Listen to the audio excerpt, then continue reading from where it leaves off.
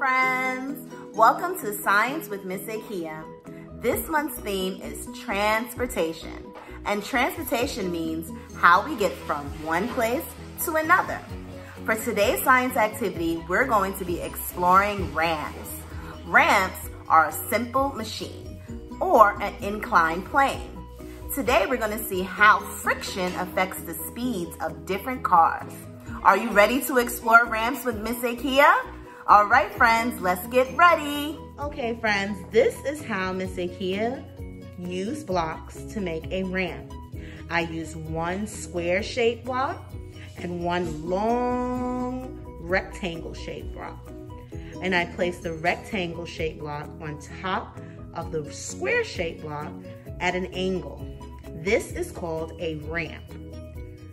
This is a simple machine or an inclined plane. First, we're going to see how fast the car goes when I put one square block on the ramp. First, we're going to test the ramp with one square block. Let's see how fast the car goes.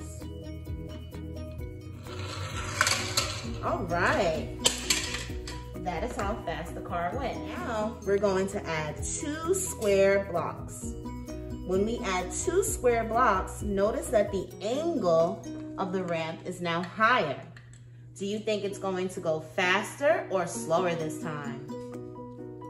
Let's see which answer is correct. Guys, did you see how fast that car went when it had two blocks? Let's see that one more time. Whoa! Now, Miss Akia is going to add three square blocks to our ramp. Ooh. Make sure it's steady. Ooh. I'm gonna hold it this time, friends, because it's not as steady as before. But notice that the angle of the ramp is even higher. The last time when we added two blocks, the car went super fast. Let's see if the angle of the ramp being higher affects the speed or how fast the car goes this time. Whoa! Okay, friends, now we're going to see how friction affects the speed of the cars as well. Miss Akia has this very special ramp that we use in a classroom. It has these special plates that we can place on the ramp to change the surface. If you look at these two plates, they have different bumps and grooves. This will affect how fast the car will go. I'm gonna place it right here. Well, actually, first I'm going to do it without the plate so you can see how the cars move without the special plates that cause friction. So I have two cars. I'm gonna let them go. Ready, set, go! All right, this time the cars went at the same speed. Now gonna say Kia's gonna go and grab these two cars. And now we're going to add the plates. The plates are gonna cause friction. We're going to see if that's going to affect how fast the car goes or its speed. So one has zigzag lines and the other one has wavy lines. The zigzag line is the blue plate. The wavy lines are on the green plate. Now let's see, friends. Ready, set, go. Oh my, look what happened this time. We're gonna try it one more time. A good scientist always experiments more than once.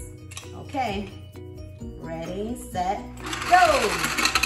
Oh wow, friends, this time the cars did not go as fast down the ramps.